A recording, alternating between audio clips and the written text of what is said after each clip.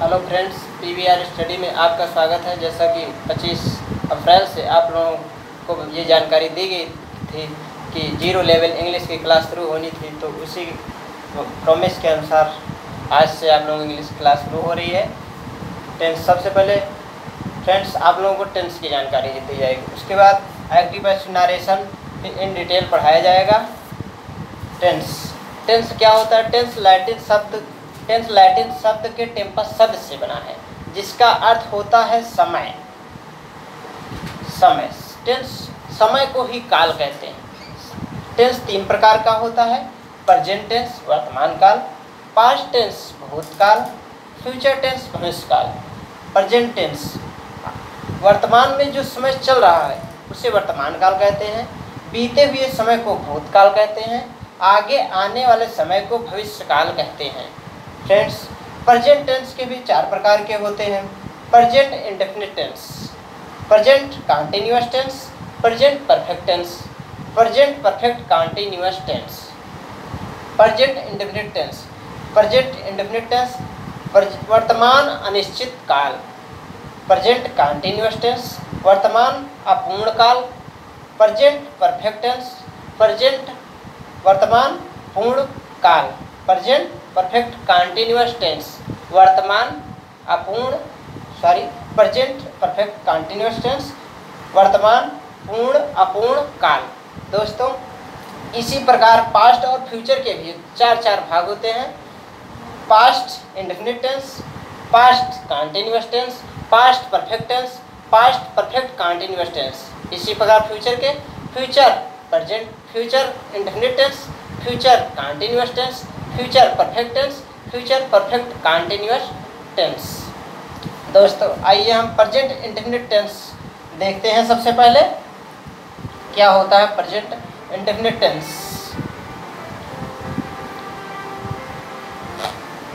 Present indefinite tense. Present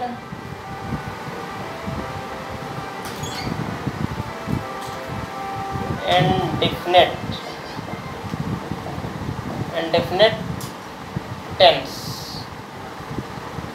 वर्तमान अनिश्चित काल। दोस्तों, इसमें जितने भी कार्य होते हैं, अनिश्चित होते हैं। कोई इसका समय नहीं होता, कब से शुरू हो रहा है और कब खत्म होगा।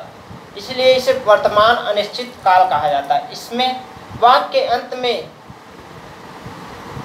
ता है, ती है, ते हैं,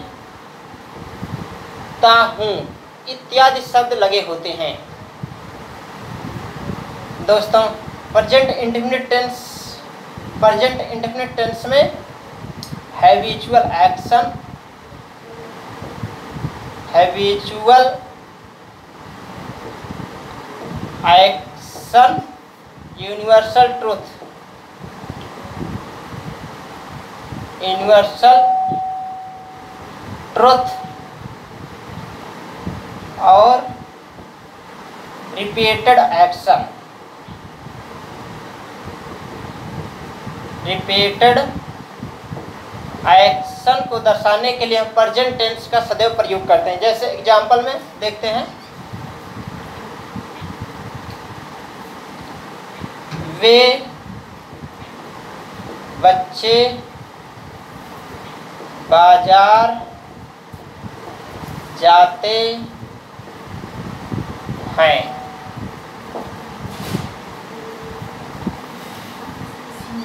सबसे पहले आप लोगों को इसका नियम बता दिया जाए। प्रजेंट इंडेफिनिट टेंस के सेंटेंस चार में सेंटेंस भी चार प्रकार के होते हैं। पहला है affirmative sentence affirmative sentence affirmative sentence सकारात्मक वाक्य।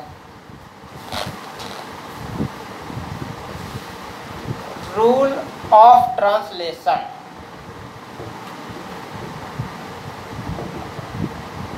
अनुवाद करने का नियम। फ्रेंड्स इसमें सबसे पहले हम subject subject main verb main verb plus object यह है अनुवाद करने का नियम। सब्जेक्ट, मेन वर्ब, यस या es object third person third person के साथ थर्ड पर्सन के साथ मेन वर्ब में यस या यस लगाते हैं। थर्ड पर्सन के साथ मेन वर्ब में यस या यस का प्रयोग करते हैं। से सभी कर्ताओं के साथ यस या यस का प्रयोग नहीं करते हैं।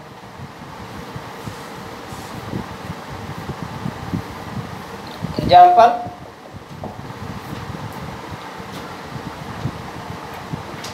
एक आदर्श व्यक्ति।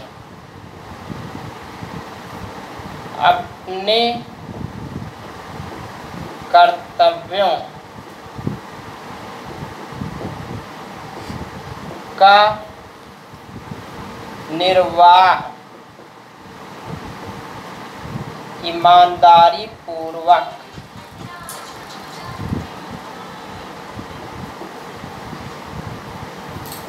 ईमानदारी पूर्वक करता है।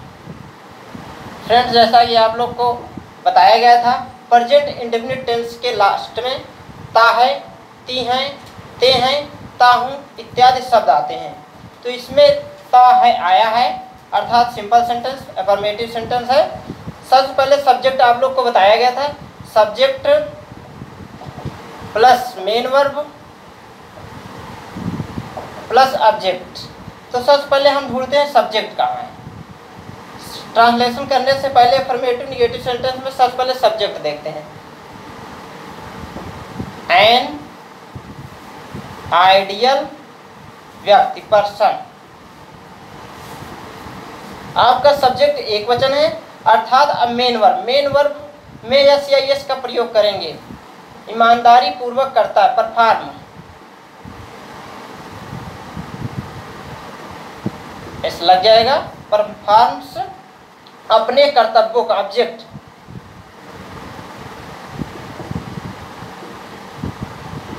हिज ड्यूटीज़ ईमानदारी पूर्वक। दोस्तों, ये एडवर्ब है। विथ ऑनेस्ट लिखिए या honestly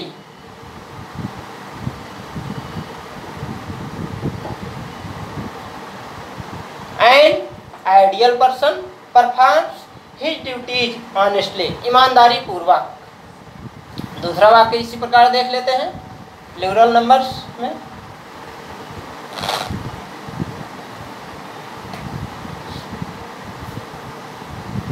वे विद्यार्थी, विद्यालय जाते हैं।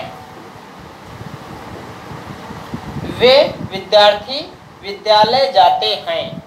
सबसे पहले सब्जेक्ट सब्जेक्ट आपका क्या है? विद्यार्थी। मेन वर्ब में कौन या किसने शब्द लगाने से हमारा सब्जेक्ट मिल जाता है, प्राप्त हो जाता है। सब्जेक्ट क्या है? विद्यार्थी। और विद्यार्थी के पहले वे शब्द लगा हुआ है, ये क्या है? डिमांस्ट्रेटिव एडजेक्टिव और यहाँ पे ऑब्जेक्ट का अभाव है एडवर्ब है, और ये क्या है? मेन वर्ब है हमारा। तो आइए ट्रांसलेशन करते हैं। Those students main verb main verb ये क्या है? बेस फॉर्म्स प्लूरल नंबर है, इसलिए यहाँ पे यस यस या यस लगाने की कोई आवश्यकता नहीं। गो गो के साथ हमेशा टू का प्रयोग कंपल्सरी होता है। Go to school okay those students go to school वे विद्यार्थी विद्यालय जाते हैं।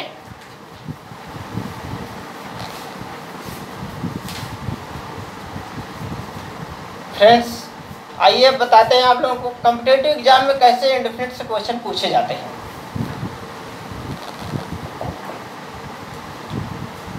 The sun is rising in the east daily the sun is rising in the east daily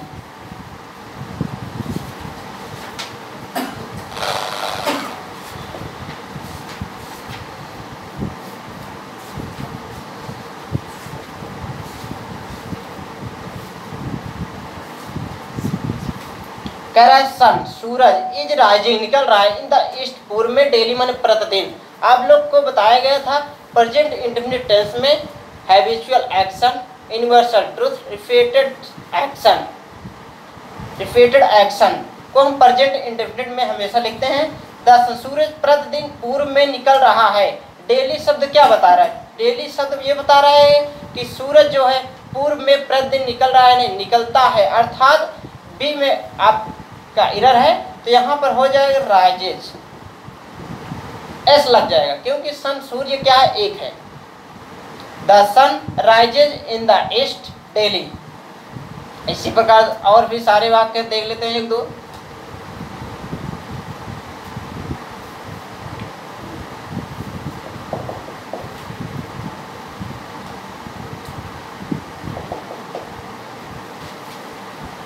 The cricket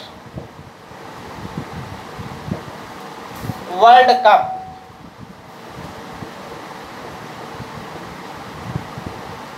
The cricket the cricket world cup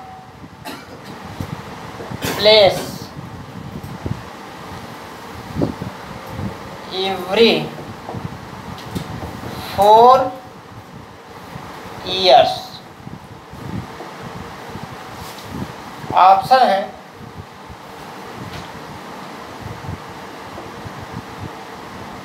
take second option take third option is taking और चौथा और last option है आपका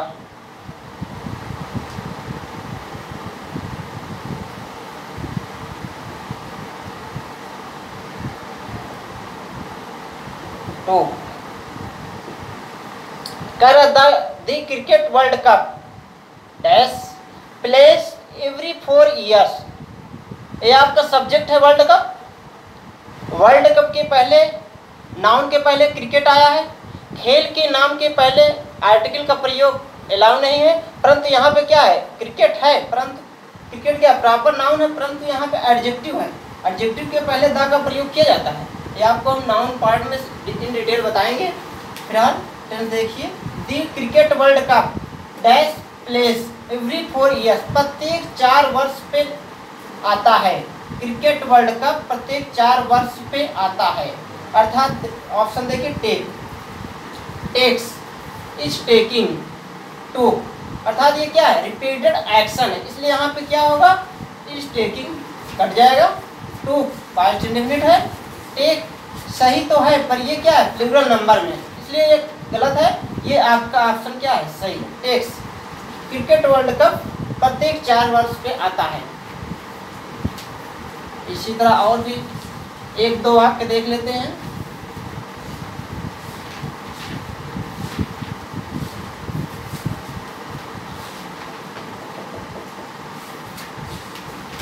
The shop the shop at nine o'clock and dash at twelve o'clock options हैं, इसके। Is opening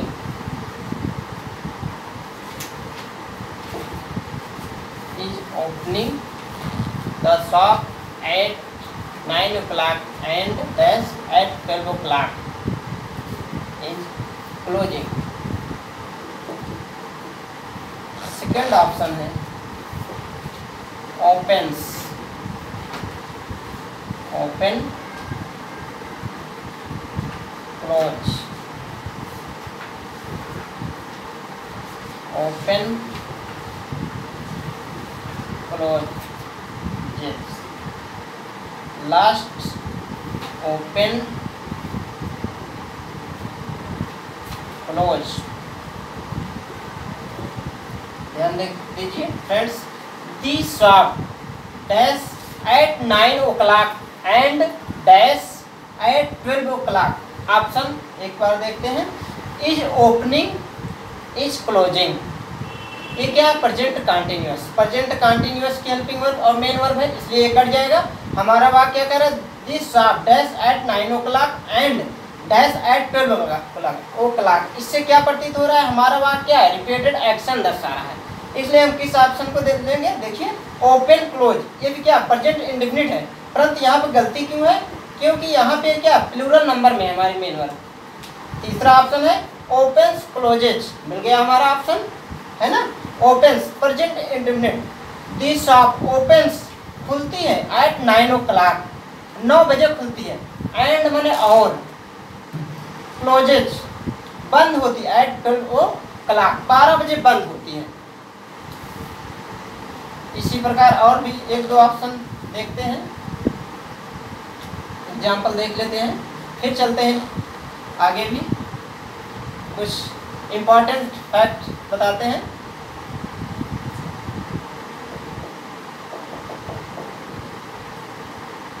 Ravi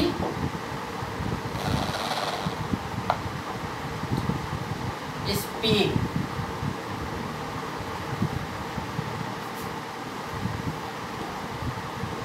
English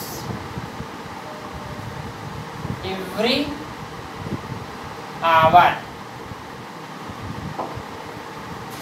Kara Ravi speaks English every hour.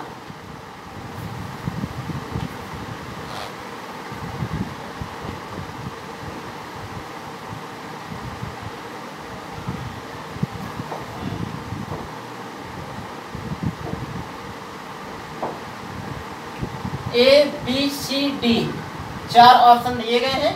Ravi speaks English every hour प्रत्येक घंटे प्रत्येक घंटे रवि क्या करता है? इंग्लिश बोलता है। क्या दर्शा रहा है?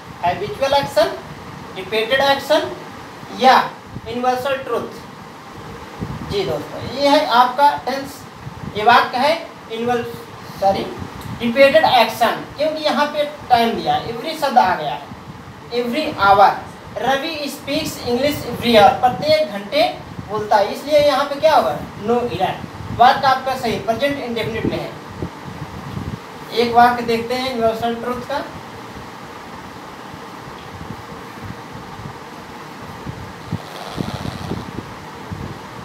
Cats always like milk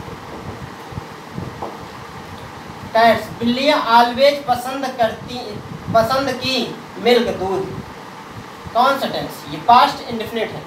इसलिए यहाँ पे क्या हो जाएगा? लाइक प्लूरल नंबर में सब्जेक्ट है हमारा तो यहाँ पे लाइक हो जाएगा। कैट्स ऑलवेज लाइक मिल्क बिल्लियाँ सदैव दूध पसंद करती हैं। बिल्कुल ये सत्य है यूनिवर्सल ट्रुथ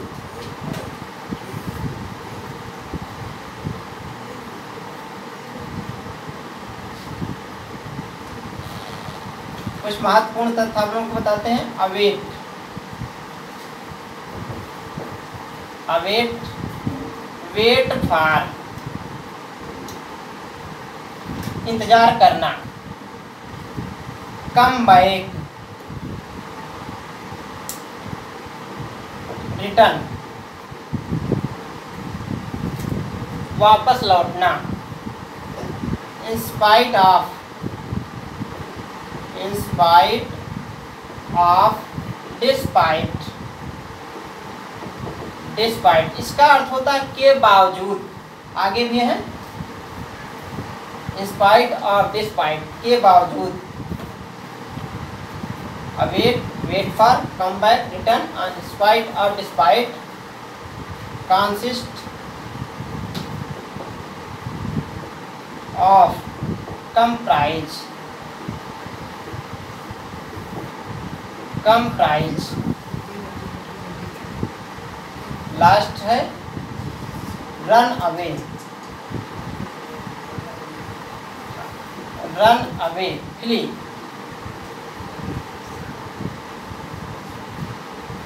जी दोस्तों, ये महत्वपूर्ण तथ्य हैं आपके। इसी में से अधिकांश लगभग हर परीक्षाओं में 80 परसेंट एग्ज़ाम में इसी पर आप लोगों को क्वेश्चन बनाता है इंडिफिनिट से। अवेट वेट फॉर इंतज़ार करना। कम बैक रिटर्न वापस होना, वापस लौटना। इंस्पाइट ऑफ़ डिस्पाइट के बावजूद कंसिस्ट ऑफ़ कंप्राइज समाहित होना, शामिल होना। रन अवे भाग जाना, दूर भाग जाना फ्ली इसी का सेम अर्थ होगा फ्ली दूर भाग जाना। आइए वाक्य के माध्यम से इसको आप लोग को समझा देते हैं।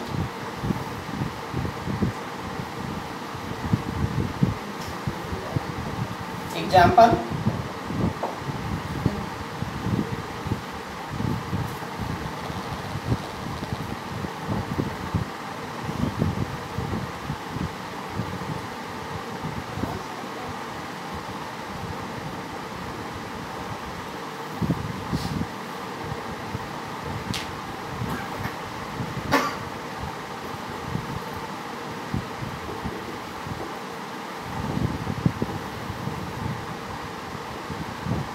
await for me if I come back यदि मैं वापस आता हूँ अवेट फॉर मी मेरा इंतज़ार करो। अवेट फार। फार अवेट फार के अवेट फार के साथ फार का प्रयोग अलाउ नहीं है, जो कि वेट फार होता अवेट फार नहीं होता। इसलिए यहाँ पे क्या हो जाएगा? फार हट जाएगा। इसका सीधा एग्ज़ाम्पल हो जाएगा। If I come back await me इसी प्रकार एक दो और एग्ज़ाम्पल हैं।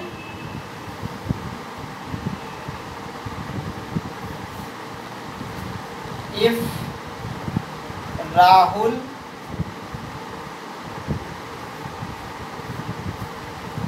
return return back please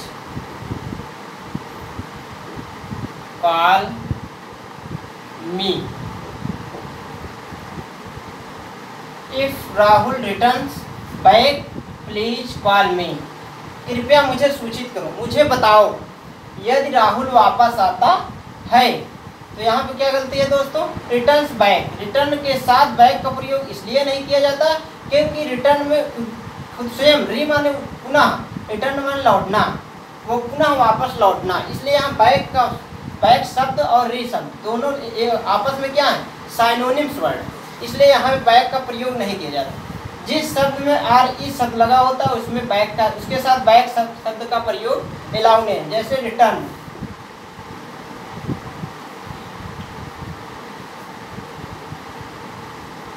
revert और भी ऐसे एक दो शब्द हैं इसमें ध्यान से निकल गया है।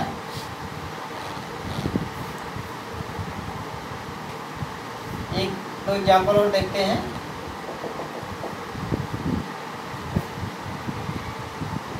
a family a family consist consist of consist of a father mother and dear children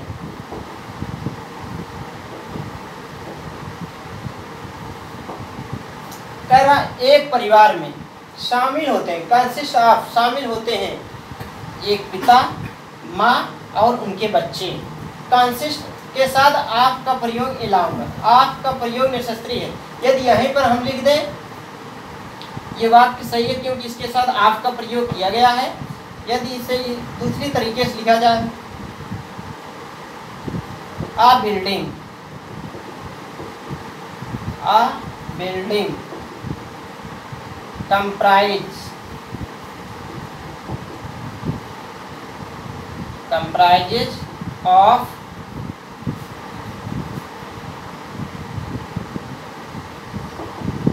six room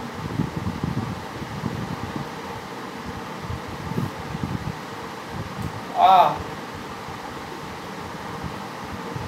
bathroom and a kitchen कह रहा है एक बिल्डिंग में कंप्राइजेस समाहित होते हैं। Six rooms a bathroom and एक किचन रसोई घर, जो कि यहाँ पे गलती दिख रही है। कंप्राइजेज ऑफ़ आप का प्रयोग कंप्राइज के साथ नहीं होता है। इसलिए यहाँ पे क्या होगा? आप कट जाएगा। कंप्राइजेज ओनली कंप्राइजेज परंतु इसी को यदि पैसिव बनाया जाए तो कंप्राइज के साथ भी आपका प्रयोग एलाऊ है। आपका प्रयोग किया जाता है। जैसे this book this book is comprise comprise of twenty pages ठीक? दोस्तों पैसिव बनाया गया इस वाक्य का पैसिव बनाया गया इसी क्रिया के साथ एक्टिव वाक्य में ऑफ़ का प्रयोग अलाउ नहीं है। परंतु, पैसिव में ऑफ़ के ऑफ़ कंप्राइज के साथ अलाउ है। अर्थात ये वाक्य क्या है? सही, बिल्कुल राइट है।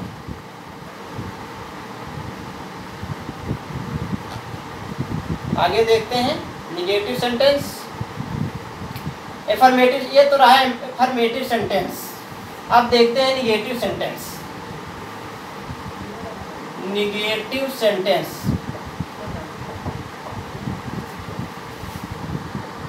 negative sentence तो दोस्तों, आपकी ये इंग्लिश की क्लास बस यहीं पर आज ख़त्म हो जाएगी। जैसे कि आपने देखा, सर का अभी नया नया एक्सपीरियंस है। अगर कुछ आपको लग रहा है कि मतलब सुधार किया जाए तो कमेंट करिएगा। और ज़्यादा से ज़्यादा लोग लाइक करिएगा, जिससे कि मतलब आप जानते हैं ना थोड़ा सा उत्साह बढ़ेगा तो और अच्छी क्लास होगी। और इस क्लास का जो समय है, वो इसी टाइम पे रहेगा, आपको निश्चित कर दिया जाएगा। कमेंट करिएगा, एक निश्चित समय पर हर दिन आपकी क्लास होगी इंग्लिश की, जो कि आपकी ये 30 मिनट से लेकर के 45 मिनट की क्लास होगी, जिसमें आपका बेसिक पॉइंट से लेकर के कंपटीशन तक का सब कुछ क्लियर किया जाएगा। ठीक है? तो इस क्लास को तुरंत लाइक कर दीजिए और दोस्तों में भी शेयर करिएगा। बहुत बहुत शुक्रिया।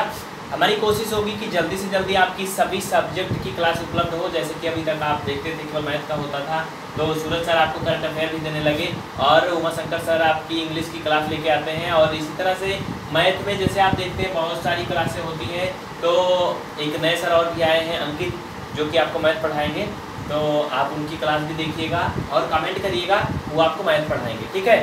और हाँ इसके बाद आप लोगों का सवाल होगा कि वो मैथ पढ़ाएँगे तो क्या हम नहीं पढ़ाएँगे? जी, बिल्कुल हम भी पढ़ाएँगे। कुछ क्लास जो भी जैसे चलती थी और वो कुछ और भी क्लास पढ़ाएँगे जो कि नहीं हो पाती थी। ठीक है? तो बिल्कुल टेंशन मत लीजिएगा, हम पढ़ाएँगे और वो भी पढ़ाएँगे। इस क्लास को दोस्तों में भी शेयर करिएगा। थैंक यू आप सभी को।